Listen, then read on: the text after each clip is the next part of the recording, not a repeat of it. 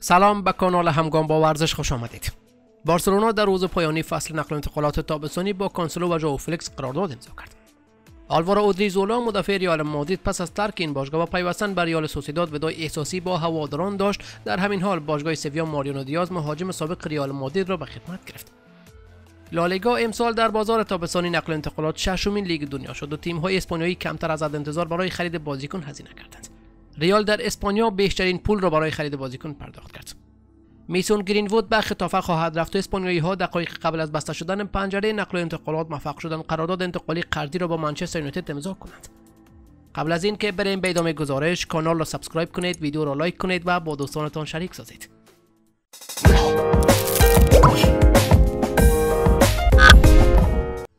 با نقل از اسپورت پرونده نقل و انتقالات تابستانی در اروپا بسته شد و آبی ها در روز پایانی با دو بازیکن قرارداد امضا کردند. ژائو فلیکس و کانسلو دو بازیکن سرشناس هستند که با بارسا به توافق نهایی رسیدند و به صورت قرضی راهی این تیم شدند. ژائو فلیکس رویای حضور در بارسلونا را داشت. او پیش از این اعلام کرد که از کودکی هوادار بارسا بوده است و این باعث شد تا در نهایت آبی ها او را جذب کند. هرچند او در آستانه حضور در لیگ عربستان بود. کانسلو هم به صورت قرضی از منچستر سیتی به بارسلونا پیوست. او بعد از عقد قرارداد با آبی اناری ها گفت. بی صبرانه در انتظار آغاز کار با بارسلونا هستند در این تیم بازیکنان سرشناس و بزرگ زیاد بازی می‌کنند. حضور در بارسا یکی از رویاهای من بود که به آن رسیدم.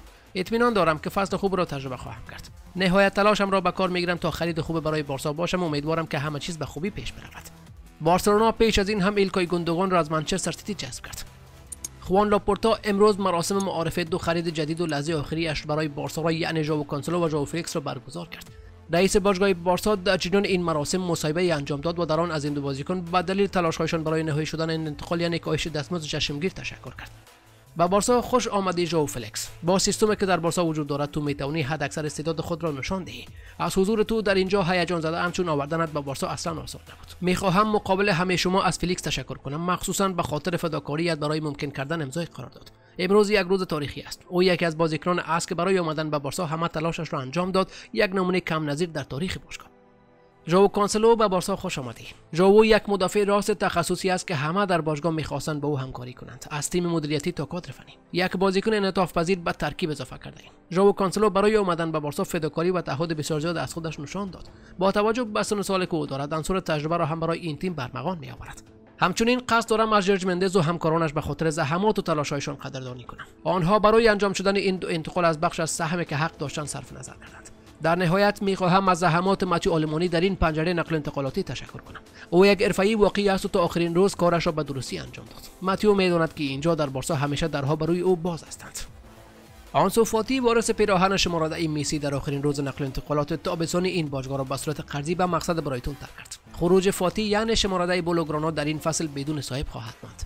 برخی از منابع از ژائو فلیکس به عنوان شماره احتمالی بارسا در این فصل نام برده بودند اما این احتمال با ثبت شدن شماره 14 به نام فلیکس در سایت لالیگا کاملا از بین رفت با توجه به اطلاعات سایت ترانسفر مارکت از فصل 1979 1980 این اولین بار است که بارسا فصل را بدون شماره شروع می کند شماره بارسا تا این چهار دهه بر تن بازیکنان مانند میسی، رونالدینیو، خوان رومن ریکلمه، ریوالدو، روماریو، پپ گواردیولا، گری لینکر و دیگو مارادونا رفته بود. اودریزولا پس از پنج سال دوری از ریال سوسیداد شب گذشته از ریال مادید جدا شد و با قرارداد به ارزش 1.5 میلیون یورو و همچنین چند بند پاداش بار دیگر به این باشگاه برگشت.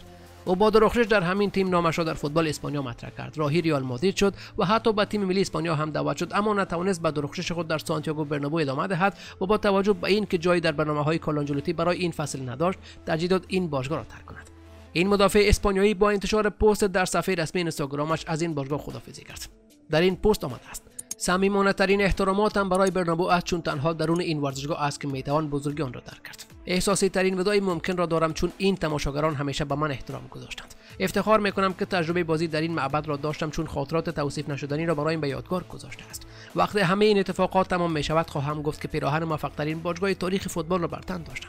خواهم گفت که در آن گروه افسانه‌ای بودم و خواهم گفت که فوتبال را در کنار بزرگان بازی کردم. اینجا شما همیشه یکی از خودتان را خواهید داشت. حالا باید به خانه برگردم. هر چقدر چیز عالی و کامل باشد رنج و لذت که از آن احساس خواهید کرد بیشتر است.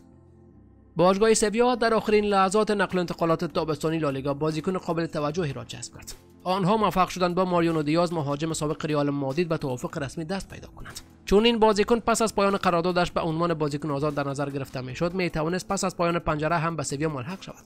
قرارداد او تا جون 2027 اعتبار دارد. خوزه لوئیز مندلیبار یک مهاجم دیگر می‌خواست و ویکتور هورتا به دنبال گزینه های دیگری بود. اما در نهایت مدیر ورزشی سویا بازیکن را انتخاب کرد که 5 سال پیش درست قبل از امضای قرارداد با ریال مادید نزدیک بود. بازیکن سویا شود. سویا بازیکن را به خدمت می‌گیرد که در سال 2018 یکی از بهترین مهاجمان قاره اروپا با پیراهن المپیک لیون بود. او در آن فصل 21 گل به ثمر رساند و 6 پاس گل داد. در نهایت رئال مادرید این بازیکن را از آن سال جذب کرد. دیاز از رئال به لیون ملحق شده بود. او در رئال دستمزد داشت که سویا توانایی پرداخت آن را نداشت. حدود 5 میلیون یوروی خالص در هر فصل حالا در تیم جدیدش او ده برابر کمتر درآمد خواهد داشت.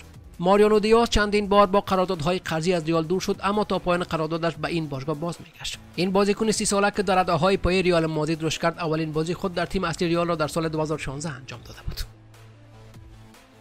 بازار نقل و انتقالات تابستانی دیشب بسته شد و مطابق انتظار لیگ برتر انگلیس از لحاظ هزینه برای خرید بازیکن شماره یک دنیا شد و پس از آن لیگ یک فرانسه لیگ عربستان سعودی سری آ ایتالیا بوندسلیگا و لالیگا قرار گرفتند این کمترین هزینه لالیگا از فصل 2013-2014 بود و نزدیک به هزینه‌ای که تیم‌های اسپانیایی در پاندمی کرونا انجام دادند. دیشب بارسا توانست ژائو فلیکس و ژائو کانسلو را در ساعات پایانی به صورت قرضی جذب کند و انتقال‌هایی مثل ماریانو دیاز به سویا، اودریزولا به سوسیداد، عبده به بتیس و اریک گارسیا را به خیرونا را نیز شاهد بودیم. در مجموع تیم های اسپانیایی 432.8 میلیون یورو برای خرید بازیکن هزینه کردند و 477.6 میلیون یورو نیز از ناحیه فروش بازیکن به دست آوردند که سود 44.8 میلیون یورویی را شامل می شود.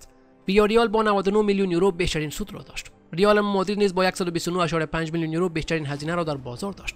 ریال مادرید برای بیلینگام 103 میلیون یورو پرداخت کرد و آردا گولر، براهیم خوسلو نیز به این تیم پیوستند. لالیگا از لحاظ هزینه جذب بازیکن فاصله آشکار با لیگ برتر دارد که باشگاه‌هایش 2737.74 میلیون یورو برای نقل و انتقالات هزینه کردند که یک رکورد است. تا همین چند سال پیش فوتبال اسپانیا و انگلیس در یک مسیر بودند اما امروز هیچ قیاسی بینشان وجود ندارد. اسپانیا نه تنها از انگلیس دور است بلکه از سری آ ایتالیا، لیگ یک فرانسه، بوندسلیگای آلمان و حتی لیگ حرفه‌ای عربستان نیز عقب‌تر است. وضعیت لیگ ها از لحاظ هزینه در نقل و انتقالات. لیگ برتر انگلیس 2737 میلیون یورو. لیگ یک فرانسه 964 میلیون یورو. لیگ عربستان 846.57 میلیون یورو. سری آ ایتالیا 845.66 میلیون یورو. بوندسلیگا 767 میلیون یورو. لالیگا 432 میلیون یورو.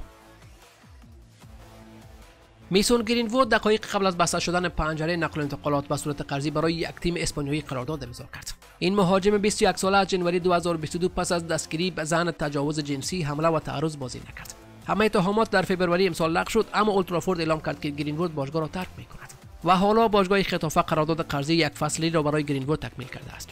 گرینوود احتمالا اولین بازی خود را برای خطافه در هفته سپتامبر مقابل اوساسونا انجام خواهد داد. طبق گزارش های یونایتد هیچ مبلغی برای گرینوود دریافت نخواهد کرد و گفته می شود که اکثر دستمزدهای او را پوشش می دهد تیم مادریدی نیز در طول این مدت سهم کم را برای دستمزد او پوشش خواهد داد. در بیانیه باشگاه یونایتد آمده است. این انتقال به گرینوود اجازه می‌دهد تا دور از منچستر یونایتد شروع به بازسازی حرفه‌ایش کند. باشگاه به حمایت خود از بیسون و خانوادهش در این دوره ادامه خواهد داد. خطافه در کلیسوم آلفونسو پرز با ظرفیت 17393 نفری بازی می‌کند و در حال حاضر در رده 12 جدول لیگ قرار دارد. با گزارش میل آنلاین رئیس جان مورتو بحث انتقال به خطافه را به عهده گرفته بود. گفته می شود که سایر باشگاه های انگلیسی نیز همانند یونایتد از واکنش عمومی نسبت به بازگشت گرینوود به زمین نگران بودند و برای همین برای به خدمت گرفتن این بازیکن پا پیش نگذاشتند.